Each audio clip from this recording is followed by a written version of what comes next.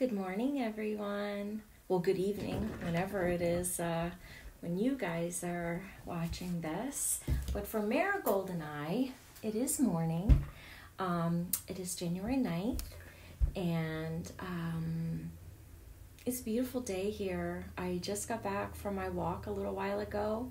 I haven't walked on the beach in such a long time, and it felt so nice to be out there. Um, perfect weather, just needed long sleeves, but not really anything else, and it was just great. But it's probably chilly where some of you guys are. Angela and Rosie, I know it's got to be chilly in Germany today. So we're going to do another winter book. I got this book from the library at a library book sale. Marigold, you're not being helpful.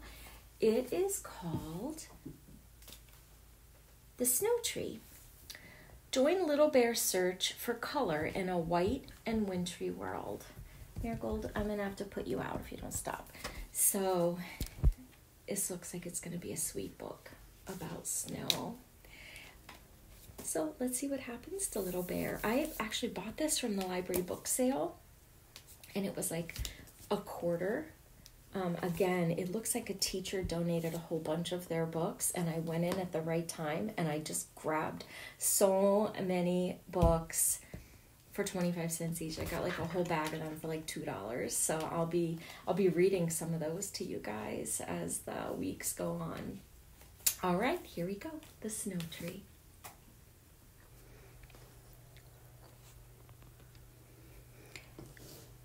Snow Tree, written by Caroline Repchuk, illustrated by Josephine Martin.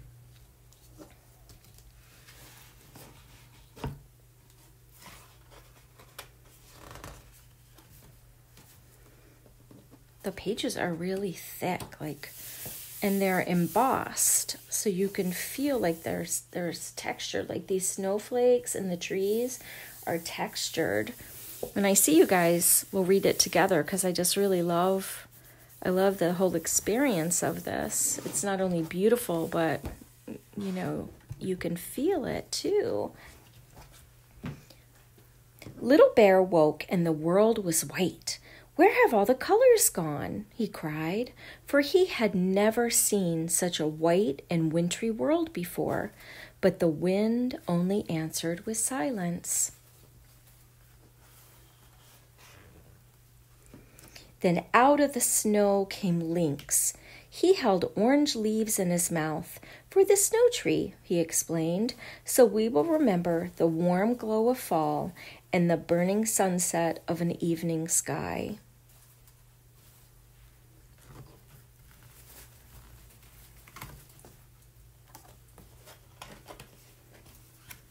Next came Squirrel.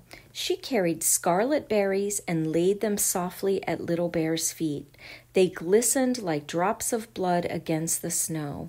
To remind us of flowers and fruits from the forests and fields, she said.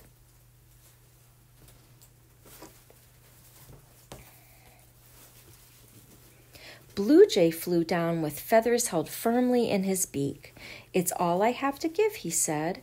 But these feathers are as blue as the summer sky and the rolling waters of the river. From deep inside the frozen forest, mink appeared. Nature's finest, she declared, adding velvet fur to Bear's collection, brown like the rich earth beneath the snow.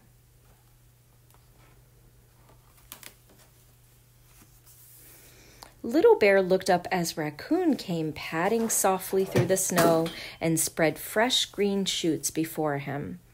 My offering is to remind us of the green of spring, of new life after the sleep of winter.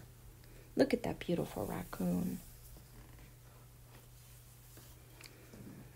Reindeer moved slowly forward through the snow, with purple rock piled high upon his back. Here is color that will endure forever, he said, as purple as the mountains and the rolling clouds of thunder. Bunting alighted on a nearby branch, laden down with yellow cones. I carried all I could, she said, so we won't forget the yellow corn that grows all summer long in the fields beyond the forest. Arctic fox brought icicles that sparkled silver in the frosty light, like raindrops in the sunlight. It is time to decorate the snow tree, she said, and you, little bear, will guard this tree all winter long. Your black fur will remind us of night's velvet darkness. Last of all came Moose. A bright golden star hung gleaming at his neck. Set this star high upon the tree, he proclaimed. Let its light shine out to all the creatures of the forest, that they may gather to celebrate the glory of nature and the beauty of peace and friendship this Christmas time. Oh, I get it. They're making a Christmas tree. They're decorating a Christmas tree. Oh my goodness. Little Bear smiled as he stood gazing at the glorious tree. The colors were back.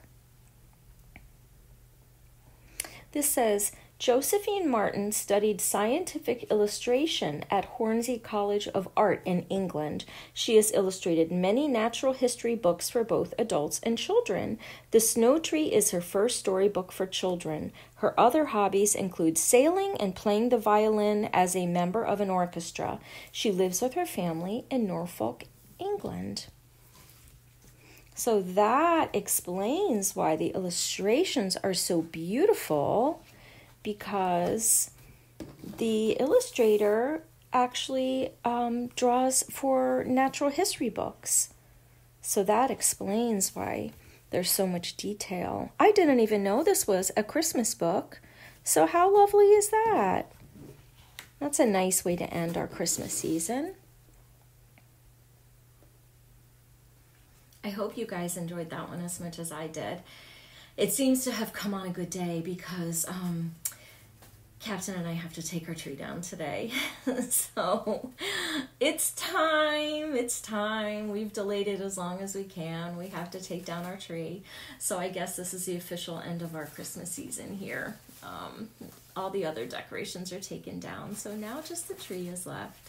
So I really like this book, and um, I'm to try to find um, more by the same author. But let me let me know, you guys, how you feel.